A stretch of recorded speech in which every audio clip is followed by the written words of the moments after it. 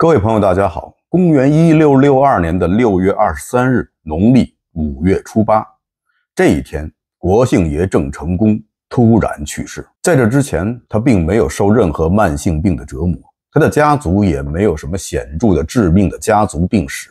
而且，就在这之前的几个月，正如我们在上一集中所提到的，他还在他的荷兰战俘菲利普梅面前展示他非凡的奇迹以及剑术。他在飞驰的马上连发三箭，箭箭中靶。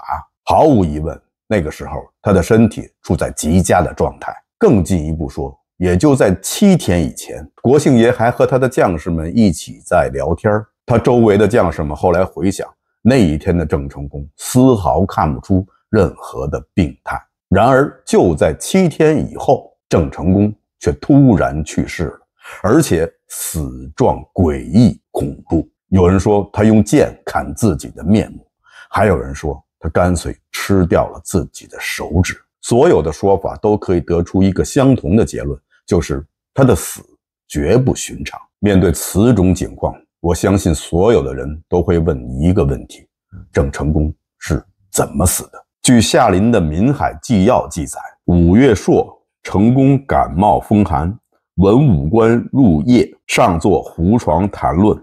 人莫知其病，及饥革，都督胡秉成调药已尽，成功置之于地，叹曰：“自国家飘零以来，枕戈泣血时有七年，进退无据，罪案日增。今又秉济遐荒，拒捐人事，忠孝两亏，死不瞑目。天乎天乎，何使孤臣至于此极也？顿足府营，大呼而卒。时年三十有九。”为五月八日也，在江日升的《台湾外记》中，则是这样记载的：五月朔日，成功偶感风寒，旦日强起登将台，持千里镜，望澎湖有舟来否。初八日，又登台观望，回书使官带，请太祖祖训出，礼毕，坐胡床，命左右进酒，折月一针，则以一杯，至第三针。叹曰：“吾有何面目见先帝于地下也？”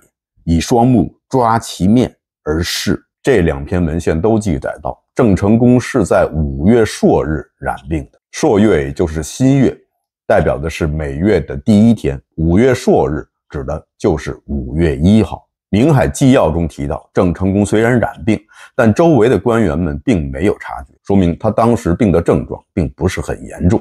台湾外记也提到，他五月一日染病，但是呢，只是偶感风寒，仍然能够登将台，持千里镜对外观望。然后这两部史料都提到，在五月初八的那一天，郑成功的情绪突然发生了急剧的变化，他突然顿足捶胸，大呼而死，或者是以手抓面而死。在其他的史料中也提到，郑成功死的时候不胜愤怒，骤发癫狂，遥指身死。还有的人说他得狂疾，所从人佩剑，自啄其面而死。那么是什么原因导致了郑成功在生病几天以后情绪发生如此之大的变化？如果他的死是正常死亡，是病死的话，那么他得的到底是什么样的病？如果他不是正常死亡，那么他是怎么死的？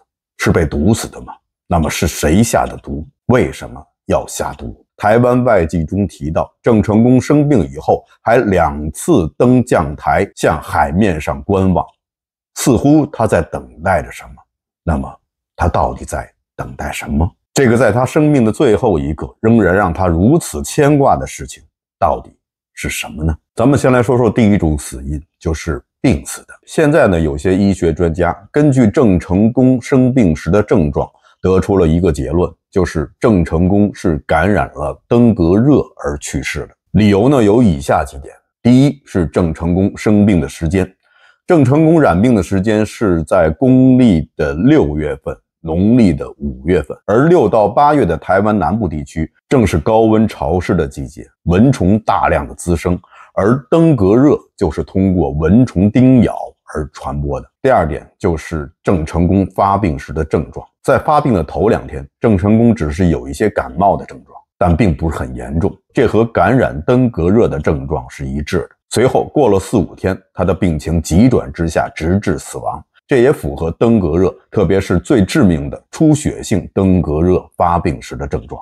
而郑成功死前之所以能够出现那么多怪异的行为，什么用手抓脸、用剑砍脸、大声的呼喊等等，这些呢，用登革热发病时的状态都可以解释。登革的本意就是突然抽搐，犹如恶魔缠身。还有登革热剧烈发作时会伴随着剧烈的疼痛，有人形容为折骨之痛。所以，郑成功这些怪异的行为，有可能就是因为这种剧烈的疼痛所导致。就像有的人在剧烈疼痛之下会用头撞墙是一个意思。所以啊，综上所述，郑成功死于登革热出血症，这看起来似乎是一个非常具有说服力的观点。但这并不是郑成功之死的唯一解释，因为毕竟还有一些事情登革热无法解释。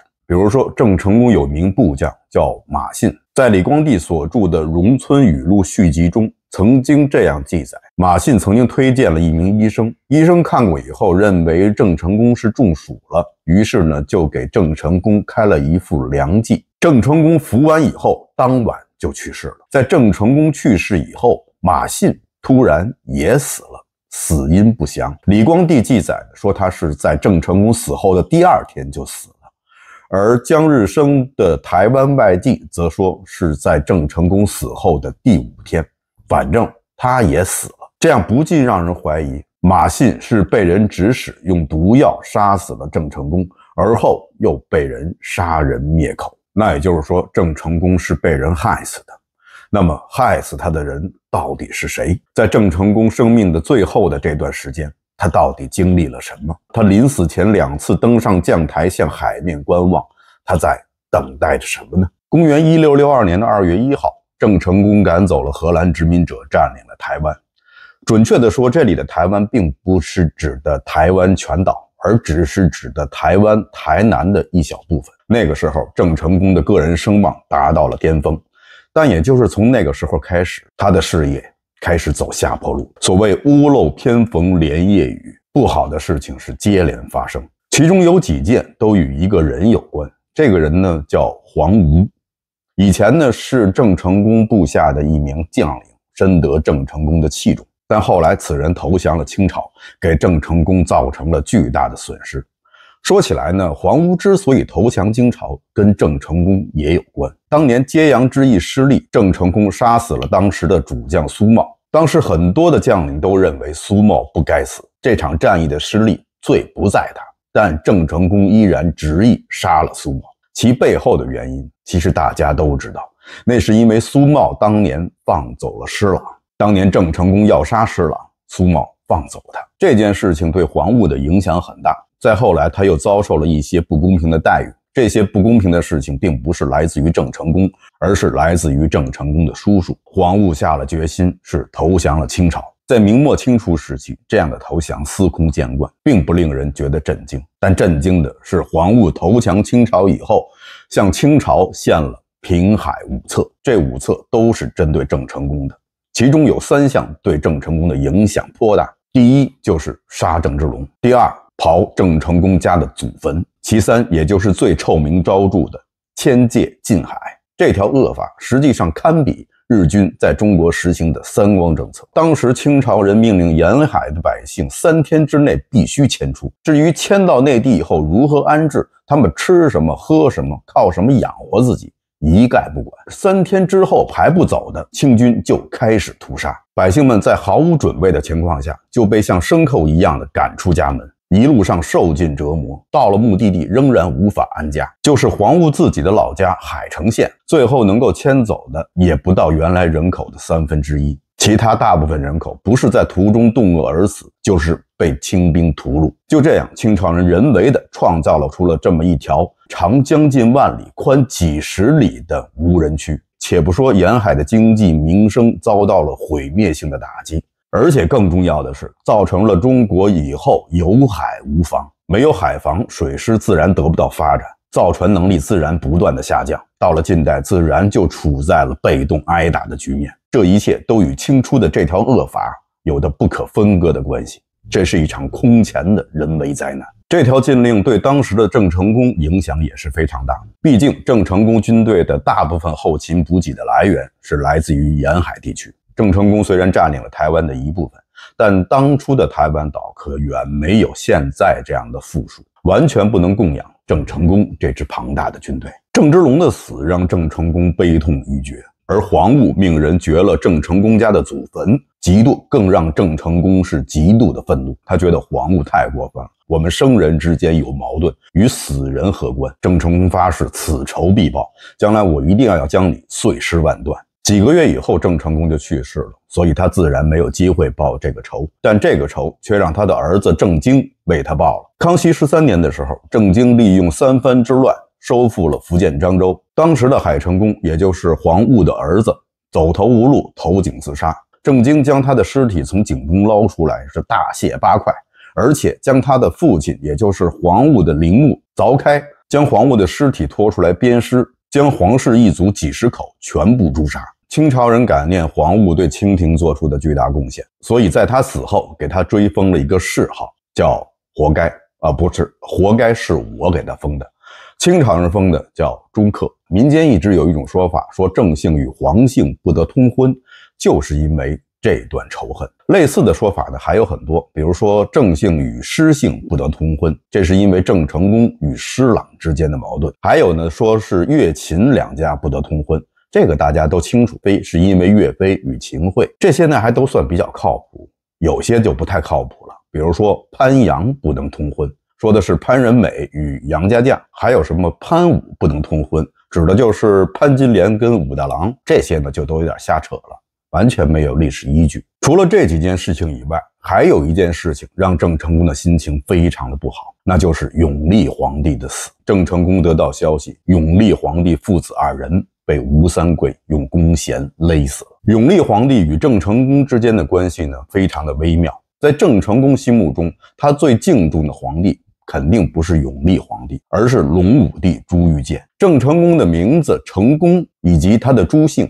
就是隆武皇帝赐给他的，所以郑成功本来应该叫朱成功。郑成功是清朝人对他的称呼，因为清朝人认为南明政权是伪政府，哪来的什么国姓？后来呢，有些学者提出应该改称郑成功为朱成功，但是呢，有关方面考虑到郑成功已经是一种约定俗成的叫法。所以就没有改变，但实际上应该叫朱成功。隆武帝第一次见到郑成功的时候，就非常的喜欢，他觉得郑成功文武双全，而且是一表人才。当时他就说：“说如果我有媳妇儿的话，一定把她嫁给你，啊，不是，如果我有女儿的话，一定妻亲，就是把女儿嫁给你。”他封郑成功为招讨大将军，卫同驸马，又赐姓朱，实际上是把郑成功当成自己的半个儿子来看。隆武帝也是南明四帝中一心想有一番作为的皇帝，只可惜他所信非人，他过分的依赖郑芝龙了。最后，隆武帝是自杀殉国。郑成功心目中对隆武帝一直是非常敬重，他也一直使用隆武皇帝封他的招讨大将军这个头衔。而对永历帝呢，毕竟郑成功并不认识朱由榔，自然谈不上有什么私人感情。但当永历皇帝在广西称帝的时候，郑成功仍然很高兴，他说：“物有君矣。”然后向西南摇拜，奉永历皇帝为正朔。但即便如此，郑成功对待永历也不可能像他对待隆武那样的忠诚和坚决。这也直接影响了他后来与永历皇帝手下大将李定国之间的合作关系。这方面说起来的内容就太多了，咱们以后有时间呢再慢慢的聊。郑成功在台湾的时候也一直沿用的是永历的年号。这点呢，也让当时的朝鲜人对郑成功颇有好感，而且也由此认为明朝并没有亡。那朝鲜人又是怎么知道的呢？毕竟当时并不具备现在的通信条件，两地一南一北又相距遥远。朝鲜人知道呢，确实是事出偶然，那是源于历史上的丁默漂流人事件。所谓丁默漂流人事件，是指在公元一六六七年，也就是郑成功去世五年以后。九十五名来自于台湾，当时郑成功东宁王朝的官员以及商人，他们因海上失事漂流到了朝鲜的济州岛。这些人仍然穿着大明的服色，并没有剃发，说着是福建地区的闽南方言。他们称他们的年号就是永历，所以这也让当时对大明王朝一直充满着崇仰之情的朝鲜国为此是欣喜不已。他们觉得大明并没有亡，但当时的朝鲜国王已经是显宗了。就是我们以前提到的仁祖的孙子，他对那时候已经在中原日益强大、稳定的清政府还是非常的惧怕，所以他将这九十五人送到了辽东，送给了清朝人。这九十五人最后被清朝人全部杀害。历史有时候就是这样兜兜转转，相似的事情可能几百年后又会发生。不过呢，就是双方各换了一个位置。不知道大家由丁默飘人事件会不会想起现在的？脱北者，朝鲜人认为郑成功是明朝的忠臣，但是呢，他对郑成功也有一些微词，认为是郑成功杀死了鲁王朱一海，就是我们以前说过的四帝一监国之一的监国。朝鲜人是从清朝人的口中知道这件事情的，但实际上他们被清朝人忽悠了，被忽悠的还不只是朝鲜人，后代的很多人都被《明史》所载忽悠了，也被后来的《清史稿》。忽悠了，《明史》和《清史稿》都说郑成功杀死了朱一海。按《清史稿》所说，郑成功是将朱一海改了个名字，叫朱宸海，把他扔到海里淹死了。这个黑锅，郑成功一背就背了三百多年，一直到了一九五九年，人们在金门发现了朱一海的墓。从墓志中知道，朱一海素有残疾，他是在公元一六六二年的十一月份。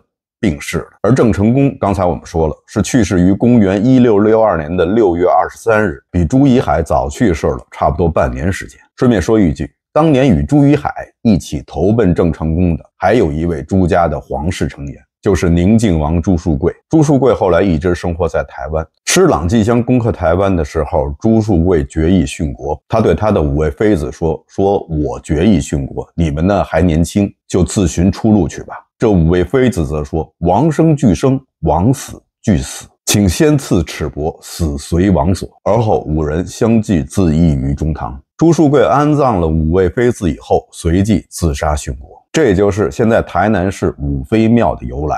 除了这些外患以外，内忧更让郑成功觉得异常的愤怒。先是住在厦门的郑成功的原配夫人董氏给郑成功发来消息，说他们的儿子郑成功的长子郑经。喜得贵子，郑成功当爷爷了。郑成功当然很高兴，这是他的第一个孙子。他还特意让人给郑经捎去了很多的礼物作为赏赐。这本来是一件好事，但被唐显岳的一纸奏章全部搞黄了。唐显岳是当时的兵部侍郎，相当于现在的国防部副部长。他还有一个特殊的身份，他是郑经的岳丈，郑成功的亲家。郑经这次所生的儿子，并不是他与唐氏所生，而是据郑经的母亲董氏所言，是郑经与他的一名侍妾所生之子。郑经与唐氏成亲以后，两个人的夫妻感情并不好。郑经经常在外面找女人。下面有很多的侍妾，对唐氏则是不理不问，由此唐氏就积了一肚子的怨气。这次郑经又与侍妾生了一个儿子，而偏偏这个侍妾的身份又非常的特殊。这名侍妾姓陈，她以前是郑经的弟弟的乳母。唐氏因记生恨，就将这件事情告诉了自己的父亲唐显月。唐显月也为自己的女儿抱不平，于是就写了一禀奏书，向郑成功告状。说乳母乃三父八母之一，你的儿子与乳母苟合，那就是乱伦。生下一个孩子，你不加责斥，反加赏赐，像你这样连家都治不好，又焉能治国呢？郑成功知道他的这个孙子是儿子与乳母所生之子，也是勃然大怒，于是派人到厦门去传达他的命令，要杀了乳母陈氏、郑经以及他们两人新生的儿子，甚至。还要杀了郑经的母亲，也就是郑成功的发妻董氏。命令下达以后，厦门这方面却是拒不执行。他们认为郑成功如此处置实在是欠妥。董氏是他们的主母，郑经是世子，郑经新生的儿子也是郑家的长孙，这些人都是郑成功的至亲，都杀不得。所以他们就违抗了郑成功的命令，只杀了乳母陈氏。郑成功知道以后是愈发的暴怒，又派人去厦门重申他的命令，但仍然没有得到任何的回信。我们前面提到的，郑经在死之前曾经两次登上将台向海面瞭望，据史料所说，就是等待着厦门那边传来的消息，看看他的命令是否得到了执行，他的发妻、亲生的儿子、亲生的孙子是不是真的被杀掉。以上的这些陈述呢，都是根据部分史料所载，按照这些史料的思维逻辑，我来复述的。但大家听完以后，会不会觉得有一些不合理的地方？感觉有些在逻辑上难以自洽？大家有没有觉得郑成功此次的责罚过重？郑经被指控与乳母乱伦，按唐显岳所说，乳母算是三父八母之一。但所谓三父八母中的乳母，指的是自己的乳母。你喝的是这个乳母的乳汁长大，所以你与其发生关系的话，被称为乱伦，这一点没什么可说的。但如果这个乳母并不是你的乳母，那么还算不算是八母之一？这就很难说了。可以说这是一个灰色地带，可以说是，也可以说不是。礼法上并没有明确的规定。郑成功也曾经是一名儒生，他自然应该知道三父八母的含义。郑经固然有错，那也只是他踩在了灰色地带，不至于犯了死罪。郑成功顶多就是责罚一下，然后安抚一下唐显岳和唐氏，这件事情慢慢的也就过去了。但郑成功却偏要杀了郑经，杀了自己刚刚得到的长孙，这种责罚委实是太重了。完全是不可理喻。郑经是郑成功与他的发妻董氏所生的长子，那是妥妥的嫡长子，他世子的地位从来都是不可动摇。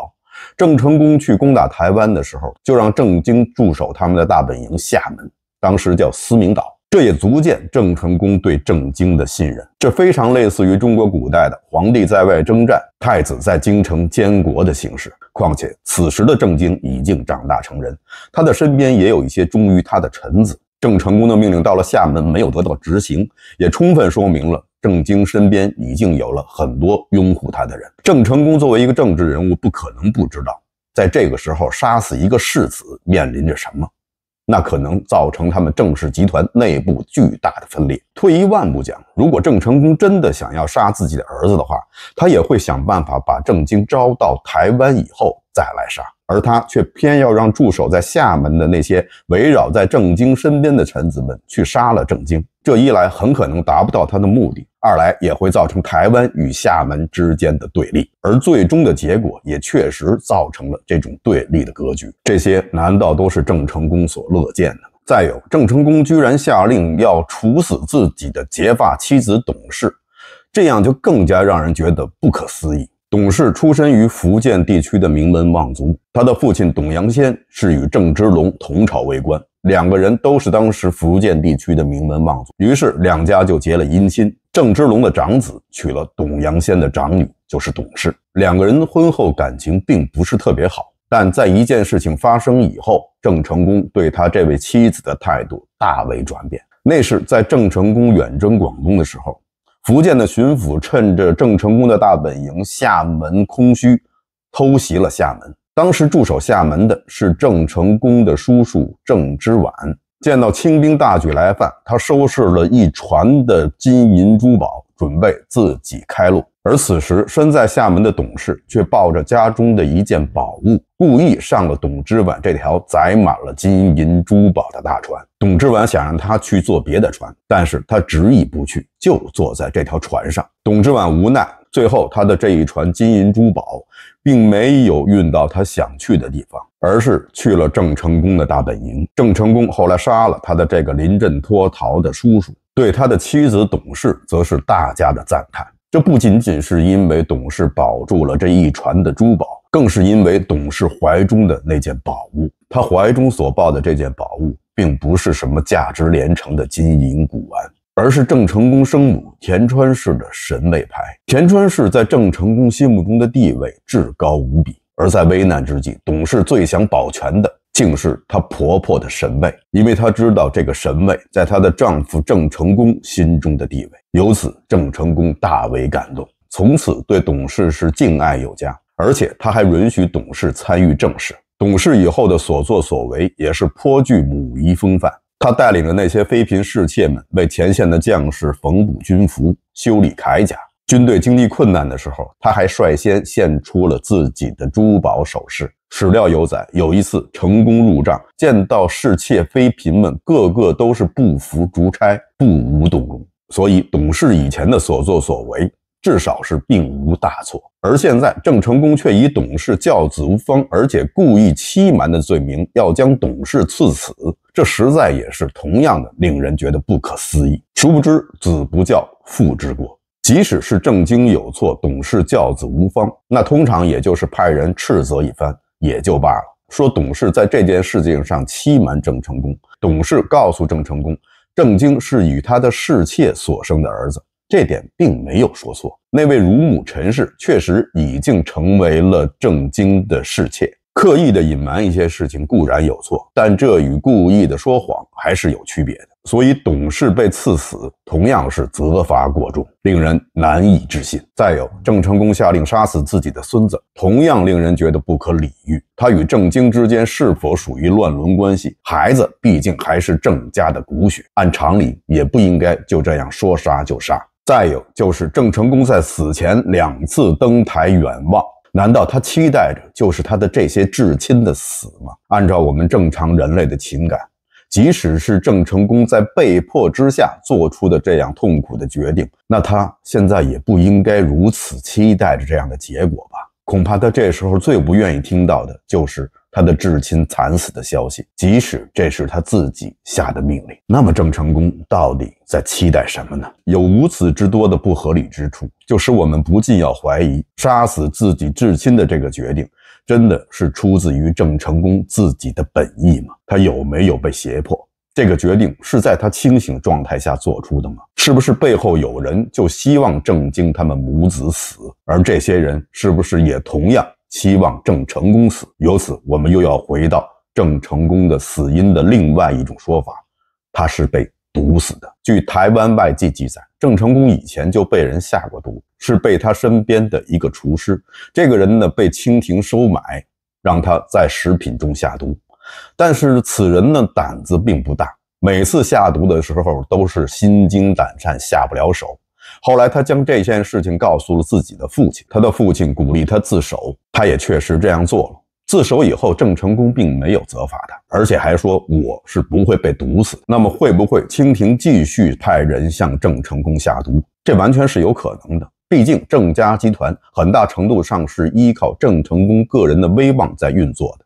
如果郑成功去世的话，那么郑家毕竟会处于一种分裂的局面。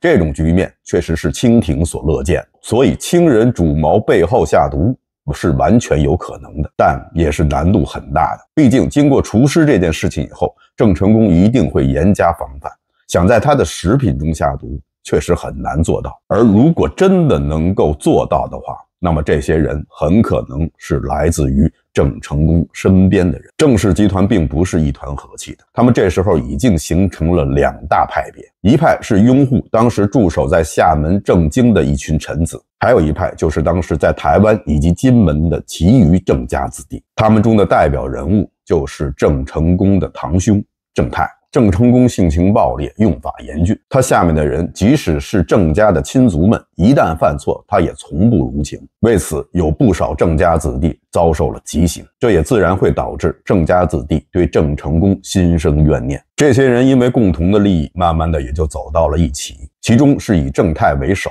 还包括郑成功的另外一个弟弟郑袭。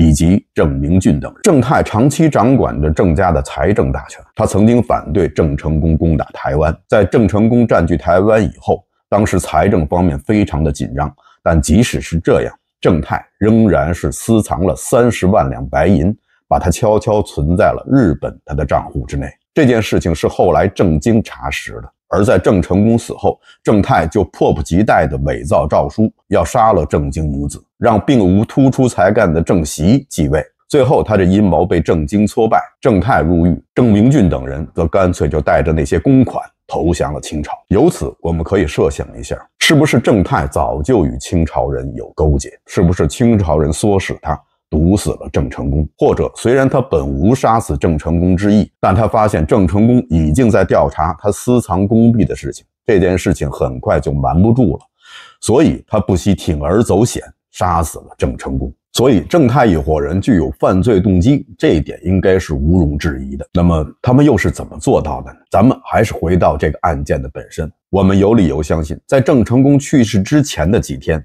他的精神处在一种非常不稳定的状态，这有可能是因为他真的染上了登革热，这是他染病以后的病症之一。还有可能就是已经有人对他下了毒。再有呢，就是我们刚才提到的，郑成功此时正处在巨大的外部压力之下，这种压力也有可能导致他情绪非常的不稳定。除了刚才我们提到的那些史料以外，还有一则史料可以充分的证明当时郑成功的精神状态。当时西班牙殖民者在马尼拉大肆的屠杀华人，这激起了郑成功的愤怒。郑成功准备再次集结部队，要出兵讨伐西班牙殖民者。所以啊，我们可以设想一下，如果郑成功不死的话，他很有可能会去攻打马尼拉。那么以后菲律宾的历史就有可能会被改写了。当时西班牙殖民者也非常害怕郑成功会去攻打他们，所以呢就派人向当时在台湾的传教士去询问郑成功会不会真的出兵。当时一位传教士给西班牙殖民者写了封回信。其中提到说，国姓爷行为狂悖，神志昏暗，疑似罹患精神疾病，恐不久于人世也。这位传教士应该没必要撒谎，所以可以想见郑成功当时的精神状态确实是非常的不正常。当然了，这不正常背后的原因，传教士并不知晓。根据以上的分析以及史料，我们可以做出这样一个大胆的猜想：事情的经过有可能是这样。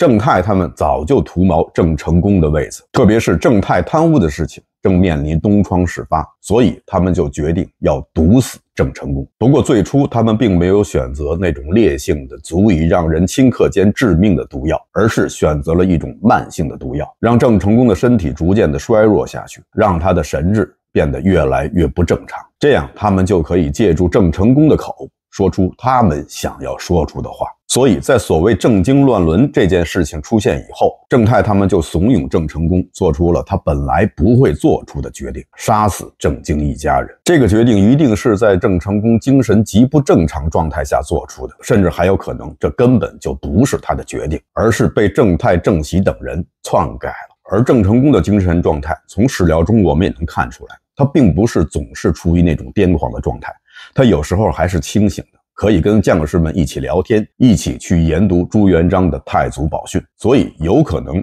郑成功在清醒的时候意识到了自己在癫狂之际做出了一个错误的决定，所以他迫不及待的想要收回成命。他可能再次的派人去厦门去追回那个必杀令，这也就能够解释。为什么在死之前，郑成功曾经两次登上将台，向远处的大海瞭望？他不是在等待着他的妻子、儿子、孙子被杀的消息，而是在等待着他们仍然在世的消息。他期待的，他最后的命令能够如期的传达，得到切实的执行。他的妻子、他的儿子、他的孙子还能够活着，但很可惜，他等不到这样的消息了，因为郑泰他们已经等不及了。郑成功如果还不死的话，那么他们的阴谋早晚会暴露，郑成功就要拿他们下手了。所以这时候他们才迫不及待地用烈性的毒药毒死了郑成功。下毒的人有可能是马信，马信本来就是清朝的降将，他可能被郑泰收买，也可能同时被清廷收买，而他那时又颇得郑成功的信任，所以他才推荐了一名大夫给郑成功下了一服致命的毒药。吃完这剂药以后，郑成功当晚就去世了。而一天或者五天以后，马信也死了。这很可能是郑泰他们杀人灭口。我们再来看看史料中所记载的郑成功的死因。有人说他双手抓面而死，有人说他咬断食指而死，有人说他用剑砍自己的面门而死，还有的人说他顿足捶胸而死，还有的人说他是大喊一声而死。我们细细想一想，这些因素实际上都不致死。咬断手指会死吗？用手抓自己的面部会死吗？用剑砍自己的面门会死吗？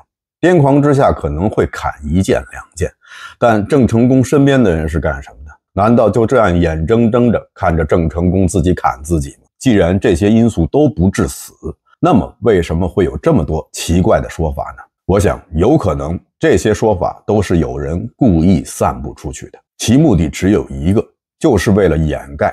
郑成功真实的死因，我们刚才说了，郑泰他们可能最开始使用的是一种慢性毒药，毕竟他们也不希望郑成功是暴毙而亡。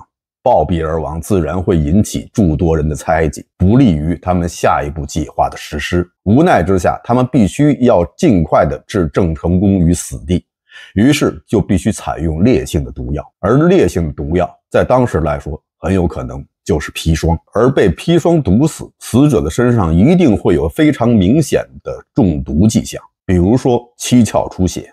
比如说指甲变得乌黑，所以郑泰他们故意对外散布说郑成功是双手挠面而死，这样就掩盖了七窍流血的症状。而手指间指甲发黑，那干脆就说成是郑成功自己咬断了自己的手指而死，这样中毒的痕迹也就自然消失了。而那位马信呢，有可能就是他下的毒，还有可能是马信看到了郑成功的尸体，觉出了异样，所以被杀人灭口。以上呢就是关于郑成功有可能是中毒而死的一些推论。当然了，这些也只是推论。大家在读史的时候可能会发现，有些史料的记载让人觉得不合情理、不合逻辑。发现这种情况以后，一般会有两种方式来处理：一种呢就是忽视这些不合理之处，史料怎么说的你就怎么记、怎么讲。这样做的好处是肯定不会错。还有一种，就是在已知史料的基础上，运用自己的逻辑推理，推导出或许在史料中被迷失的环节，或者干脆质疑这份史料的正确性。这种方式虽然会招致很多的诟病，但同样也能让你在从中体会到历史的吸引力和它的迷人之处。郑成功究竟是怎么死的？